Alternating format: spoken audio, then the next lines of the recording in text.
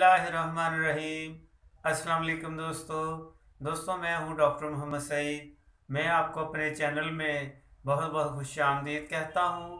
دوستو، آج میں آپ سے جو بات چیت شیئر کرنے جا رہا ہوں، وہ ہے ایپیلیپسی مرگی۔ تو دوستو، بات کو آگے شروع کرنے سے پہلے میں آپ سے گزارش کرتا ہوں کہ آپ ہمارے چینل کو بھی سبسکرائب کر لیں اور ساتھ ہی بیل آئیکن بٹن کو دبا دیں تاکہ ہماری نئی آنے والی ویڈیوز کے نوٹیفیکیشن آپ کو مسلسل ملتے رہیں۔ تو دوستو، آئیے شروع کرتے ہیں۔ دوستو مرگی کے بارے میں لا علمی اور غلط فہمیاں اکثر مریضوں کے لیے جان لیوا ثابت ہوتی ہیں۔ بہت سارے لوگ اس مرض کو جادو ٹونا یا ہوائی دورے سمجھتے ہیں۔ اس کی زیادہ تر وجوہات میں پیدائشی نقائص یا گردن توڑ بخار وغیرہ ہوتے ہیں۔ تاہم، نصف سے زائد لوگوں میں اس کی وجہ صرف دماغی خلیوں کی بے ربط برقی لہروں کا اخراج ہوتا ہے۔ دوستو، اب چلتے ہیں مرگی کی علامات کی طرف۔ دورے سے کچھ دیر پہلے مریض کو اپنی انگلیوں کے پوروں پر سرسراہٹ محسوس ہوتی ہے، جو عموماً اوپر کی طرف جاتی ہوئی محسوس ہوتی ہے۔ اس کے بعد مریض بے ہوش ہو کر دورے میں مبتلا ہو جاتا ہے۔ ایسی سسراہٹ کو مرگی کی سسراہٹ یا اے اورا ایپیلیکٹا کہا جاتا ہے۔ اس کے علاوہ دورے سے قبل سر درد کی شکایت بھی لاحق ہو سکتی ہے۔ کئی مریضوں کے ناک سے ایک خاص مخصوص قسم کی بھو آنے لگتی ہے اور آنکھوں کے سامنے چگاریاں اڑتی ہوئی محسوس ہوتی ہیں۔ کئی بار مریض دورے سے پیشتر بخار میں مبتلا ہو جاتا ہے اور اس کا سر قدرے ایک طرف جھک جاتا ہے۔ مرگی کا دورہ پڑتے وقت مریض عموماً چیخ مار کر ایک طرف گر پڑتا ہے اور تڑپنے کی سی کفیت تاری ہو جاتی ہے۔ مریض کے ہاتھ پاؤں کانپنے لگ جاتے ہیں اور جلد کا رنگ نیلاہٹ مائل ہو کر خوفناک ہو جاتا ہے۔ منہ سے جاگ نکلنے لگتی ہے اور عموماً زبان دانتوں کے نیچے آ جاتی ہے۔ کئی مریضوں کا بولو براز خارج ہو جاتا ہے۔ کچھ دیر بے ہوشی کے بعد جب مریض کو ہوش آتا ہے تو اسے شدید تکان سر درد یا فالجی کفیت یا فطور عقل کی شکایت باقی رہتی ہے۔ دوستو، اب بات کرتے ہیں کہ مریض کا ہومیوپیتھک علاج مرض کی اصل وجوہات کو جاننے کے بعد ان کا علاج کرنا چاہیے تاکہ مریض مکمل شفایاب ہو سکے، کیونکہ عموماً مریضوں میں یہ مرض کسی نہ کسی وجہ سے علامات یا مرض پیدا ہوتا ہے۔ تو پیٹ کے کیڑوں کا علاج کرنا چاہیے۔ کیونکہ عموماً مریضوں میں یہ مرض کسی نہ کسی وجہ سے یہ علامات یا مرض پیدا ہوتا ہے، تو سب سے پہلے پیٹ کے کیڑوں کا علاج کرنا چاہیے۔ نوجوان افراد جو میدا جگر کے امراض میں مبتلا ہوں، ان کے میدا جگر کا مکمل چیک اپ کرنا چاہیے اور ان کی خرابیوں کو دور کرنا چاہیے۔ دوستو، اب بات کرتے ہیں، اب چلتے ہیں ہومیوپیتھک میڈیسنز کی طرف کہ آپ کون کون سی علامات کے مطابق ہومیوپیتھک میڈیسنز استعمال کریں تاکہ یہ مرگی کے مریض جلد سے جلد شفا یاب ہو سکیں۔ نمبر ایک، اگر رات کو سونے کے دوران مرگی کا دورہ پڑے تو یہ میڈیسن بہت اچھا کام کرتی ہے۔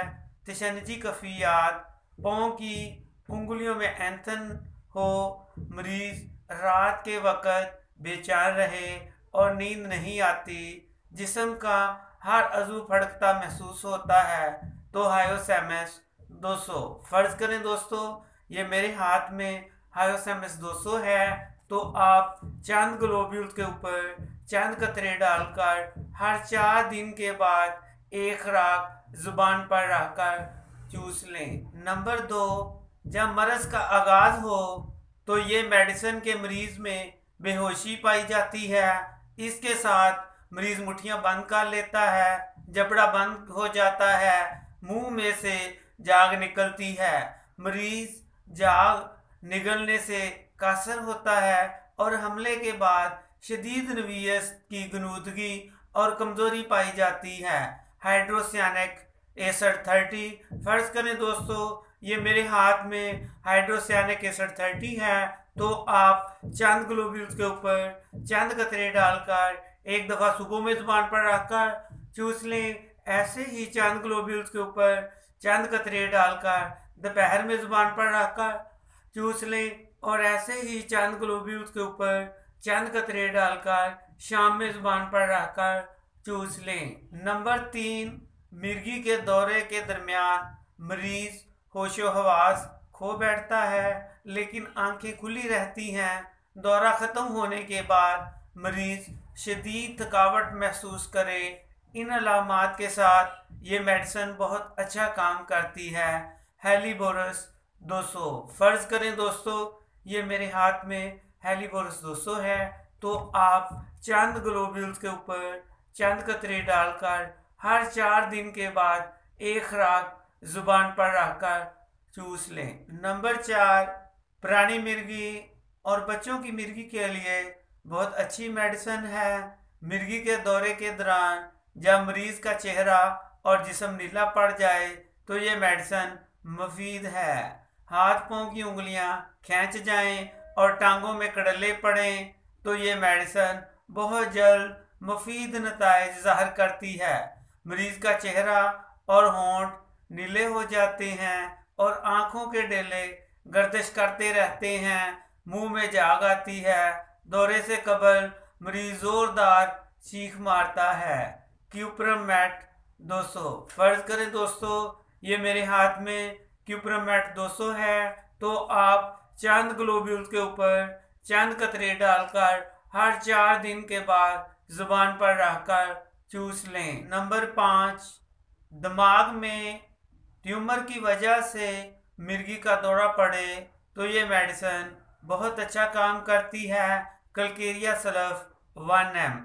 فرض کریں دوستو، یہ میرے ہاتھ میں کلکیریا سلف ون ایم ہے، تو آپ چاند گلوبیول کے اوپر چاند قطرے ڈال کر ہر پندرہ دن کے بعد ایک خوراک زبان پر رکھ کر چوس لیں۔ نمبر چھ، ڈاکٹر کینٹ کے بقول اس میڈیسن کے استعمال سے اس مرض سے نجات ممکن ہے۔ اس میڈیسن کے مریض میں حملے کا آغاز ہمیشہ دل سے ہوتا ہے۔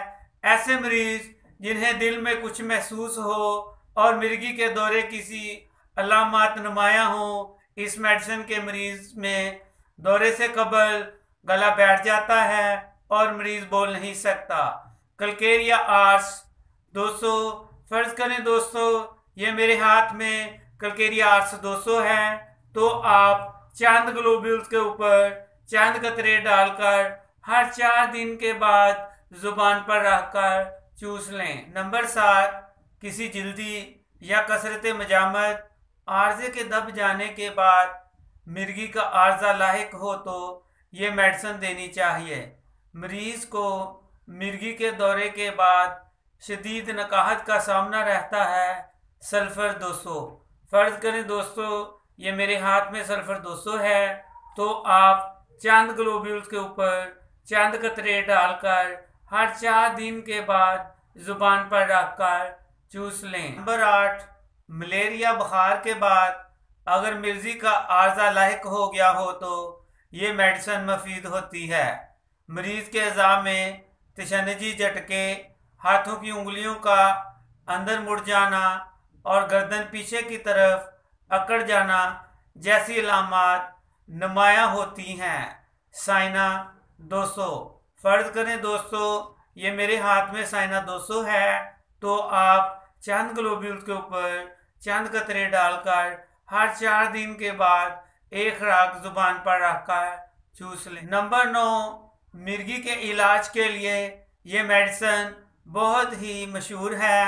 اس میڈیسن کے مریض عموماً دورے کے وقت گچھ کھا کر پیچھے کی طرف گرتے ہیں اور سر اور گردن کے عضلات تشنج کی وجہ سے پیچھے کی طرف کھینچ جاتے ہیں۔ خوف کی وجہ سے پیدا ہونے والے تشنج اور مرگی کے لیے بہترین میڈیسن ہے سائیکوٹا ویروسا تھرٹی۔ فرض کریں دوستو، یہ میرے ہاتھ میں سائیکوٹا ویروسا تھرٹی ہے، تو آپ چاند گلوبل کے اوپر چاند قطرے ڈال کر ایک راک صبح میں زبان پر رکھ کر چوس لیں۔